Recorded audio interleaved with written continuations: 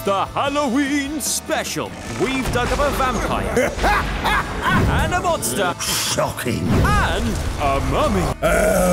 But which one is the scariest? Let's find out.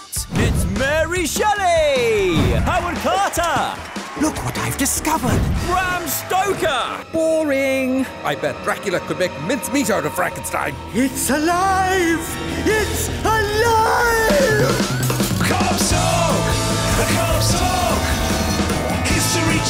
about this and that. The cops